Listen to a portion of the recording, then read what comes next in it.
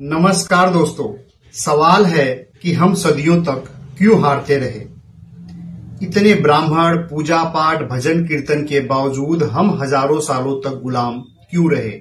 इतने अत्याचार, इतने लूट की पूरा इतिहास लहूलुहान है और मुट्ठी भर विदेशी हमलावरों ने हमारे देश को लूटा। क्या उस समय देवी देवता, ईश्वर भगवान कोई काम नहीं कर रहा था? ब्राह्मणों का पूजा पाठ यज्ञ कोई असर नहीं कर रहा था? आइए समझते हैं इसकी जड़ को। दोस्तों, चूँकि ये मुद्दा बहुत बड़ा है, इसकी बारीकियों को समझने के लिए एक वीडियो, दो वीडियो, चार वीडियो, छह वीडियो तक बन सकता है। तो हर एक वीडियो को एक एक करके आप देखते जाइए, तब समझ जाए, पाएँगे कि अपने हारों की दास्तान क्या है। दोस्तों, भारत में पुरु, चंद्रगुप्त मौर्य समुद्रगुप्त विक्रमादित्य, स्कंदगुप्त राणा सांगा शिवाजी महाराज आदि बहुत से सूरवीर हुए हैं। हमारे देश का इतिहास बहुत पुराना है साथियों। फिर भी हम ढाई से तीन हज़ार साल पहले के ज्ञात इतिहास को देखते हैं तो बहुत बड़ा प्रश्न चिन्ह सामने आकर उपस्थित हो जाता है।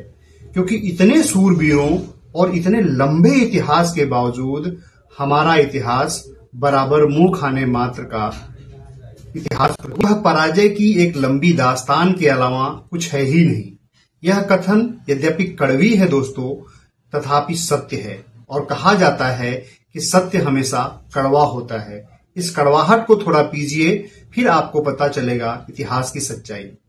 हम यहाँ भारत के ढाई से तीन हज़ार साल पुराने इतिहास का सिंहावलोकन ही कर सकते हैं, उसकी विस्तृत चर्चा नहीं। ईसा पूर्व पांचवी शताब्दी से भारत के विभिन्न भागों पर विदेशियों के हमले और उनके कब्जों के इतिहास में गवाही मिलती है, साथियों। दरियास ने 521 से चार सौ छियासी ईसा पूर्व में पश्चिम पंजाब और सिंध के उपजाऊ प्रदेश अपने ईरानी साम्राज्य में सम्मिलित कर लिए थे, क्योंकि भारत के छोटे छोटे राज्य आपसी लड़ाई झगड़ों में उलझे हुए थे। भारत के गणतंत्र और राजतंत्र विस्तार में बहुत बड़े थे, फिर भी वे संगठन के अभाव के कारण मुँह ताकते रह गए। जिन ईरानियों ने भारत के दो प्रांत हड़प लिए थे, वे ग्रीस नगर राज्यों को जीतने में असफल रहे थे। यद्यपि नगर राज्य विस्तार की दृष्टि से भारतीय से बहुत छोटे थे, उनके अपराजय होने का कारण यह था कि उनमें संगठन था उनमें एकता थी, उनमें द्वेष का अभाव था, इसलिए वो हमेशा से जीत रहे थे। दोस्तों, इस हार की जो न्यू पड़ती है, वो इतिहास में दिखाई देता है सिकंदर के आक्रमण से। भारत के इतिहास में 327 ईसा पूर्व बहुत महत्वपूर्ण वर्ष रहा है। इस वर्ष भारत पर सिकंदर ने आक्रमण किया था। यह हमला कई दृष्टियों से महत्वपूर्ण है साथियों, और बाद में भारतीय पराजयों के बीज काफ़ी मात्रा में इसी घटना के विविध आयामों में दिखाई पड़ती है। जब सिकंदर ने हमला किया, तब खुद भारत के हिंदू राजाओं ने ही अपने देश का बेड़ा गर्क करवाने के लिए उसकी मदद की थी। दोस्तों, सिकंदर अभी सुगढ़ में ही था कि तक्षशिला के राजा आम्भी ने उसके पास दूध भेजे उसके आगे समर्पण किया और उसकी सेनाएँ सिकंदर के पक्ष में लड़ने लगी।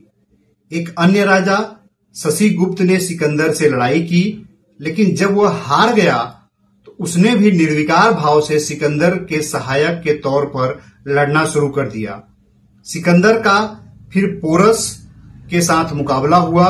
पोरस यानी पुरु के भारी भारी रथ बरसात के कारण कीचड़ में धसते हुए बहुत धीमी गति से चलते थे। उसके तीर बहुत लंबे थे और उसका निशाना लगाना बहुत कष्टकर और असुविधाजनक था। धनुष को पृथ्वी पर रखकर सैनिक उसे बाएँ पाँव से दबाते थे, फिर डोरी खींचकर निशाना लगाना था। उधर सिकंदर के घुड़सवार बड़ी फुर्ती से दाएँ बाएँ होकर हमला करते थे। उन्होंने पुरु के हाथियों की आँखें छेद डाली और उनकी सूंड भी काट दी। वेदना से चिहाड़ते हुए हाथियों ने पुरु की सेना को पूरी तरह से रौंद डाली। इसी से पुरु की हार हुई।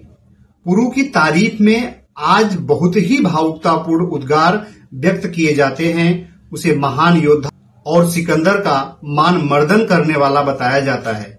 लेकिन इतिहास बताता है साथियों कि जब सिकंदर ने उसे कैद से छोड़कर उसका राज्य उसे लौटा दिया तो वह सिकंदर के पक्ष में लड़ने लगा। जब सिकंदर आगे बढ़ा तो उसे कठ नामक राष्ट्र से लोहा लेना पड़ा। कठ जी जान से लड़े। सिकंदर के लिए उन्हें जीतना असंभव हो गया था। लेकिन तभी महान देशभक्त पुरु की सेना पहुँची और काठों को मुँह खानी पड़ी। जब सिकंदर और आगे बढ़ा, तब मालवों और क्षुद्रकों ने संयुक्त रूप से उसे लोहा लेने की सोची, सिकंदर ने भाप ली और दोनों सेनाओं को मिलने से पहले ही मालवों पर धावा बोल दिया। नाजुक हालत देखकर उधर क्षुद्रकों ने बहुमूल्य भेंटों के साथ सिकंदर की सेवा में दूत भेजकर आत्मसमर्पण कर दिया। सिकंदर वापस चला गया। भारतीय इस आक्रमण को शीघ्र ही भूल गए। पुराणों और साहित्य में कहीं भी उसका उल्लेख नहीं मिलता है। लेकिन एक बात इसके परिणाम स्वरूप यह हुई कि छोटे छोटे असंगठित राज्यों को चांडक और चंद्रगुप्त मौर्य ने संगठित करके विशाल साम्राज्य बनाया, जिसके फलस्वरूप अशोक की मृत्यु तक भारत पर कोई भी विदेशी हमला नहीं हो सका। दोस्तों, भारत के इतिहास में शायद यही निरापद काल था। अशोक के मरते ही साम्राज्य बिखर गया, पामीर और कंबोज ग्रीकों ने हड़प लिए उस समय नर्मदा के दक्षिण में आंध्र सातवाहनों का विस्तृत साम्राज्य था। पूर्व में समुद्र तक ब्राह्मण खारवेल का साम्राज्य था, जो जैन धर्म का अनुयायी था। सारा उत्तरी और मध्यवर्ती भारत मौर्यों के अधिकार में था, जो जैन और बौद्ध थे। इस जैन, बौद्ध और ब्राह्मण के संघर्ष ने हालत को और भी नाजुक बना दिया। सालिसुक मौर्य एक कट्टर जैन था उसने अपने समाज में धर्म के नाम पर शायद औरंगज़ेब से भी ज़्यादा कत्लेआम किया है। काठियावाद और गुजरात में उसने अन्य मतावलंबियों को इस कदर ज़बरदस्ती जैन बनाया कि प्रजा त्राहिमाम कर उठी। इस हालत में ग्रीक के डेमेत्रियस ने भारत पर हमला कर दिया। सालिसुक की प्रजा ने जो उसके धर्मांध शासक के कारण असहाय हो चुकी थी डेमेत्रियस का स्वागत किया और उसे धम्ममित कहकर संबोधित किया। गर्गी संहिता के युग पुराण में जहाँ इस हमले का उल्लेख मिलता है, वहाँ डेमेत्रियस का नाम धम्ममित लिखा हुआ मिलता है। उसका सेनापति मिनांदर, मथुरा और साकेत को जीतते हुए पाटलिपुत्र पहुँच गया। उधर डेमेत्रियस चित्तौड़ जीतता हुआ मगध की राजधानी में प्रविष्ट हुआ। चंडक और चंद्रगुप्त के साम्राज्य के केंद्र पाटलिपुत्र तक यमन घुसते चले गए, लेकिन न केवल ब्राह्मण खारवेल अपनी जगह से हिला और न ही सातवाहन अपनी जगह से हिले। जब देमेत्रियास बैक्ट्रिया में गृह युद्ध के कारण वापस चला गया तो खारवाल ने हाथी गुफा अभिलेख में अपनी डिंग मारी और लिखवाया कि देमेत्रियस उसके डर से भाग गया था। लेकिन देमेत्रियस फिर जल्दी ही वापस लौटा और उसने पेशावर, तक्षशिला तथा सलाय कोट में अपने यवन राज्य को खड़ा किया। मौर्य साम्राज्य के पतन के बाद छोटे छोटे राज्य फिर से उठ खड़े हुए थे। अशोक और उसके उत्तराधिकारी बौद्ध और जैन थे, इससे ब्राह्मण असंतुष्ट थे। अंतिम मौर्य सम्राट बृहद रथ के ब्राह्मण सेनापति पुष्यमित्र सुंग ने सम्राट का कत्ल करके मगध की गद्दी पर बैठकर ब्राह्मण विधि विधान फिर से प्रचलित किए। कहा जाता है कि मनुस्मृति उसी समय लिखी गई थी। इसकी वजह से बौद्धिस्ट लोग इसके साम्राज्य को नष्ट करने पर उतारू हो गए। देमत्रियस के सेनापति और उसका दामाद मिनांदर उन दिनों सलायकोट में राज्य करता था। उसने हाल ही में बौद्ध दार्शनिक नागसेन से प्रभावित होकर बौद्ध धर्म अपनाया था। बौद्धों ने उसे पुष्यमित्र सुंग के ब्राह्मण साम्राज्य पर आक्रमण करने के लिए उकसाया और वह आक्रमण किया भी लेकिन लड़ते लड़ते मारा गया। उधर पुष्यमित्र सुंग बौद्धों से और भी ज़्यादा खपा हो गया और और भी कत्लेआम शुरू कर दिया। पाटलिपुत्र से लेकर जालंधर तक सारे बौद्ध विहार को जलवा डाले और घोषणा कर दी कि जो उसे एक बौद्ध का मस्तक देगा, उसे सौ दिनार दिया जाएगा। इसका प्रमाण दिव्यावदान में मिलता है। पुष्यमित्र सुंग के पौत्र बसु मित्र ने सिंधु के उस पार भगा दिया। एक तरह से ग्रीक भारत से भगा दिए गए, जो सुंगों की एक सराहनीय और महत्वपूर्ण उपलब्धि थी। लेकिन बाद में वह अति विलासी होने के कारण नष्ट हो गए। उनका अंतिम सम्राट देवभूति था। उसे उसके मंत्री ने सम्राट के दासी पुत्री द्वारा मरवाकर सुंग सिंहासन पर अधिकार कर लिया। तो विलासिता में सुंग परिवार ने अपना राज्य खत्म कर लिया। दोस्तों इतिहास का पन्ना यहीं तक।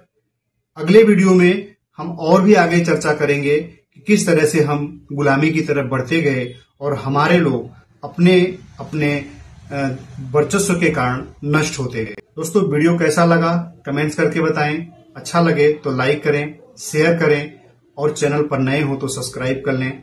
मिलते हैं अगले वीडियो में। तब तक के लिए धन्यवाद।